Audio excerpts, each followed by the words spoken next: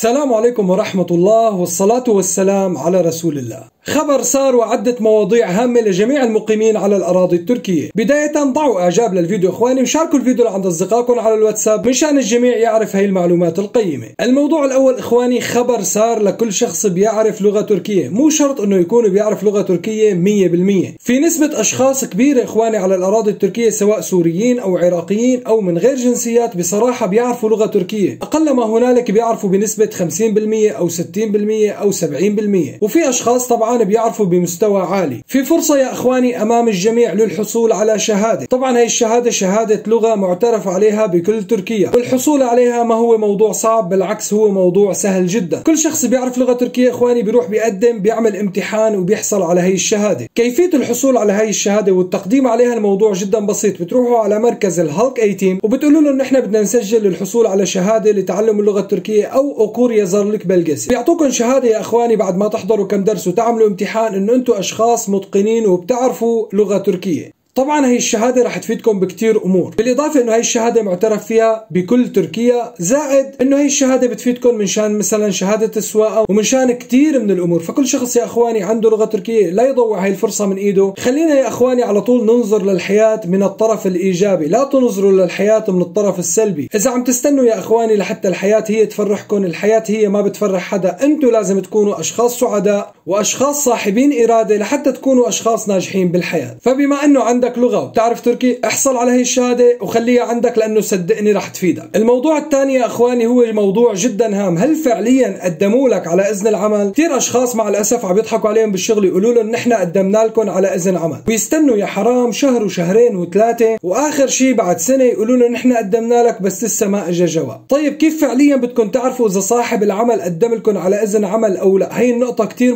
مهمة وإن شاء الله رح ساعدكم بهذا الموضوع من خلال هذا الفيديو. أول شغلة يا أخواني الحصول على إذن العمل بياخذ وقت من 20 يوم لشهرين ونص ثلاث أشهر كحد أقصى. بعد ثلاث أشهر إذا ما اجى اذن العمل على أساس إنه هو مقدم لكم. على اذن عمل معناتها هو مو مقدم لكم أساسا. اذن العمل كحد أقصى بعد ثلاث شهور بيطلع. طبعا ثلاث شهور هذا كحد أقصى. هو ممكن يطلع خلال 20 يوم أو خلال شهر خلال شهر ونص خلال شهرين. ولكن ثلاث شهور خلينا نقول كحد أقصى. مجرد ما قال لكم صاحب العمل إنه هو قدم لكم على اذن عمل إخواني في شيء اسمه başvuru formu. يعني التقديم الأولي أو التقديم على إذن العمل هذا بتاخذوه يا إخواني بيكون مكتوب عليه başvuru numarası اللي هو رقم ال başvuru وبتفوتوا على هذا الموقع يلي رح خلي لكم إياه. بالوصف بتفوتوا بتتحققوا إذا فعليا تم التقديم على إذن العمل أو لا. طبعا هذا الموقع تابع لوزارة العمل. وبهذا الشكل بتحطوا رقم الكملك تبعكم إخواني وبتحطوا رقم الباشفرو وبتعرفوا فعليا إذا هو قدم لكم على إذن العمل أو لا. وبهي الحالة بتكونوا تأكدتوا فعليا إذا صاحب العمل هو صادق معكم أو عم يضحك عليكم هو ما قدم لكم على إذن العمل. الموضوع الثالث والأخير اللي هو جدا موضوع مهم إخواني بفيد الأشخاص اللي موجودين بتركيا واللي بدهم يجوا على تركيا استخراج الرقم الضريبي بشكل مجاني. الرقم الضريبي عم يفيد كثير أشخاص لفتح حساب بنكي للحصول على الإقامة وبيفيد الناس العاديين كمان بعدة أمور ثانية فكل شخص يا إخواني يستخرج الرقم الضريبي يخليه عنده بشكل مجاني رح يفيده ما رح يضره. كيفية استخراج الرقم الضريبي؟ رح خلي لكم فيديو بأول تعليق مثبت بإمكانكم تلقوا نظره عليه وتستخرجوا هذا الرقم وتخلوه عندكم على التليفون. وبالنهاية يا إخواني لا تنسوا الاشتراك بالقناة في عندنا معلومات قيمة وهامة جدا إن شاء الله بالأيام القادمة. كل الحب والإحترام تحياتي لكم جميعا. السلام عليكم.